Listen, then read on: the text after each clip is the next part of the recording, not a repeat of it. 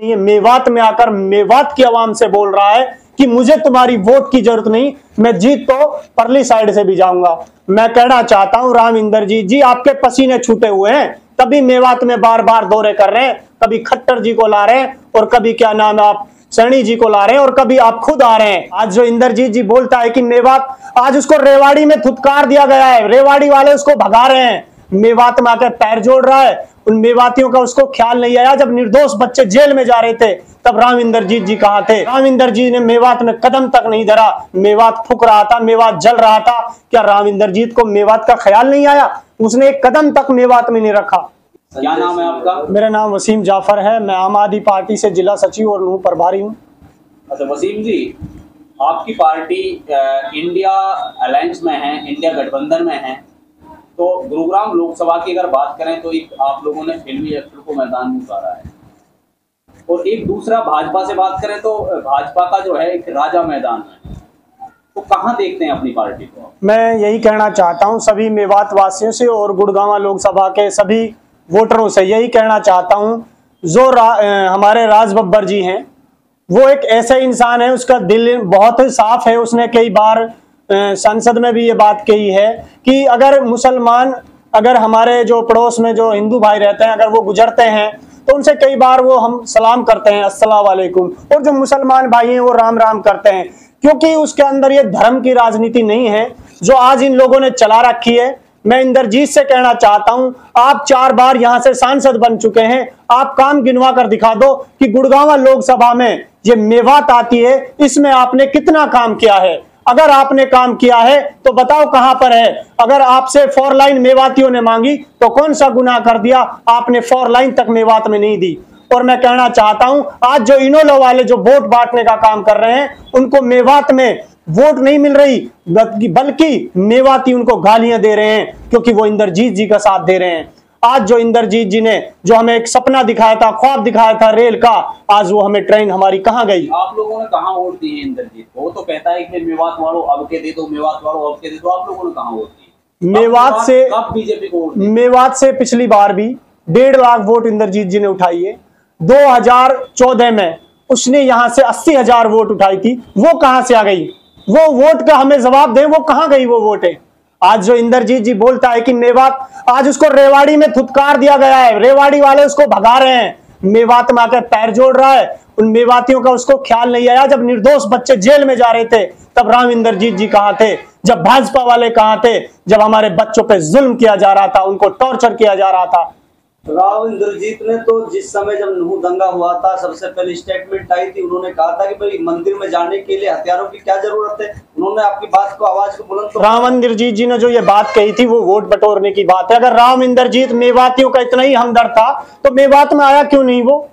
अगर मेवात का हमदर्द है, डॉक्टर सुशील गुप्ता जी हमारे मेवात में आए थे। राम जी ने मेवात में कदम तक नहीं धरा। मेवात फूक रहा था, मेवात जल रहा था। क्या राम जीत को मेवात का ख्याल नहीं आया? उसने एक कदम तक मेवात में नहीं रखा। मेवात के लिए राव इंद्रजीत कहते हैं ji, Delhi mega expressway दे दिया है और जो है गुरुग्राम में द्वारका एक्सप्रेस वे दिया है। दिया तो बहुत अच्छा विकास आज जो ये ये बात करते हैं क्या नाम है मुंबई एक्सप्रेस की ये कभी इनकी बात करते हैं। मैं राम इंदरजीत से कहना चाहता हूँ मेवात में हर इंसान अनपढ़ नहीं रहा।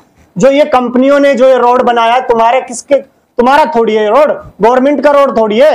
ये तो कई फैक्ट्रियों ने कई कंपनियों ने मिलकर इस रोड को बनाया है। आज जो वो बेहद इतना टैक्स वसूल कर रहे हैं इसी आवाम से और तो इनका कुछ नहीं है उस रोड में। कांग्रेस कांग्रेस पार्टी ने क्यों नहीं बनवा दिया ये रोड आप पचपन साल साल में की उसने कोई ऐसा रोड बनवाया कि भाई एक कट में आप आप तिगरा से आप चढ़ोगे तो सीधा मुंबई पहुँच जाओगे इधर आप दिल्ली पहुँच जाओगे कम समय। आपको मैं इस, इस रोड की कहाँ? रोड की मैं बात बता रहा हूँ। कांग्रेस मेरे सवाल का आप जवाब दीजिए जो मैं पूछना चाह रहा हूँ आपसे। कांग्रेस पार्टी ने क्यों नहीं किया? भाई आपके अलायंस में पार्टी इनको पचपन साल दिए कांग्रेस। कांग्रेस पार्टी ने यहाँ पे बहुत कुछ किया मेवात में। और जैसे यहाँ पर हॉस्पिटल लाए तो उन्होंने कुछ काम किया है इन्होंने तो उनका काम को भी खत्म किया है। हॉस्पिटलों में से मशीनों को उठवाया है डकैतियाँ डलवाई हैं मशीनों पे। तो कांग्रेस अब हमारी पार्टी कांग्रेस के साथ है जबकि हमारे अरविंद केजरीवाल जी एक ही बात कही है अगर इंडिया गठबंधन जीतती है तो देश में 24 घंटे बिजली फ्री होगी पानी फ्री होगा।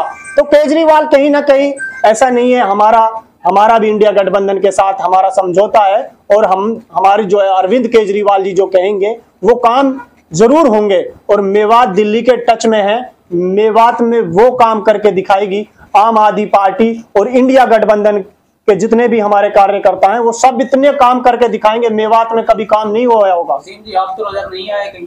राज बब्बर तो बड़ी सभा उन्होंने की थी मेवात। अभी कुछ पल अभी अभी हमारे राज बब्बर जी हैं जो उनका एक ही दौरा हुआ है मेवात में। में हमारा 25 तारीख को पच्चीस तारीख से पहले हमारी संडे को हमारा रानिंद क्या नाम है, राज बब्बर जी के साथ गुड़गांव में हमारी मीटिंग है। आम आदमी पार्टी के सभी कार्यकर्ता संडे को उसके पास जा रहे हैं। तो उसके बाद हम रणनीति बनाएँगे और हम मैदान में हैं। राज बब्बर जी के साथ साथ हैं, कंधे से कंधे मिलाकर और हम मेवात की एक एक वोट को राज बब्बर जी के लिए डलवाएँगे। अच्छा भाजपा वाले या इनोलो वाले कह रहे हैं कि वो पैरासूट उम्मीदवार है भाई उसको तो लाकर छोड़ा गया है कि भाई आप चुनाव लड़ लीजिए वहाँ से इनको कोई जो आपकी अलायंस पार्टी है उसको कोई अपना उम्मीदवार यानी कि यहाँ का नहीं मिला। राज बब्बर जी एक गरीब परिवार से आते हैं। राज बब्बर जी बहुत अच्छे इंसान है। उसको पता है कि सुख और दुख क्या होता है। ये एक राजा है जो जनता के सामने देखता भी नहीं है। मेवात में आकर मेवात की आवाम से बोल रहा है कि मुझे तुम्हारी वोट की ज़रूरत नहीं, मैं जीत तो परली साइड से भी जाऊँगा। मैं कहना चाहता हूँ, राम इंदर जी जी आपके पसीने छूटे हुए हैं कभी मेवात में बार बार दौरे कर रहे हैं, कभी खट्टर जी को ला रहे हैं, और कभी क्या नाम आप, सैनी जी को ला रहे हैं, और कभी आप खुद आ रहे हैं। तो बार बार आप कहा गए थे साढ़े चार साल पहले? कहाँ गए थे? तब आपको मेवात की याद नहीं आई? आज मेवात की वोटों की ज़रूरत है। मैं मेवात वासियों से कहना चाहता हूँ, आपको बेवकूफ़ बनाने का काम किया जा रहा है। ये बुरी तरह हार रहे हैं। बब्बर जी हमारे बुरी तरह जीत रहे हैं। इनका सुपड़ा साफ़ है। मेवात में वोट बटोरने का काम बिल्कुल नहीं करना मेवातियों को। और राज बब्बर को अधिक से अधिक वोट देनी है। सुबह टाइम से घर से निकलना है और अधिक से अधिक वोट करनी है। अच्छा राज बब्बर ने एक बयान दिया था। भाई बिरयानी उस दिन मत खाना कैसा मानते हैं आप? जो राज बब्बर जी ने एक बिरयानी वाला जो एक डायलॉग दिया था वो एक फिल्मी डायलॉग था। ऐसा कुछ नहीं है क्योंकि उसने कहा था कि कुछ लोग अ, हमारे जो मेवातियों को बांटने का काम करते हैं उनको खरीदने का काम करते हैं तो उस टॉपिक पे उसने कहा था कि आप किसी दूसरे के पैसे में या किसी के खरीदे हुए आप किसी चीज़ को ना खाएँ ताकि आपको ये लोग उसके बाद आपके से कहते हैं कि हमने तो वोट खरीदी थी। रामिंदर जी जी बार बार कहते हैं कि मेवात की वोटों को हम खरीदते हैं, इसीलिए हम काम नहीं करते। तो राज बब्बर जी का कहने का मकसद यही था। तो राज बब्बर जी ने कहा था कि मेवातियों, आप मुझे अपना बना लो ताकि मैं यहाँ पर अपना एक आसियाना बना लूँ। तो मेवातियों से कहीं ना कहीं राज बब्बर जी बेहद प्यार करते हैं और मैं कहना चाहता हूँ, आप मेवाती अधिक से अधिक उसे सपोर्ट करें।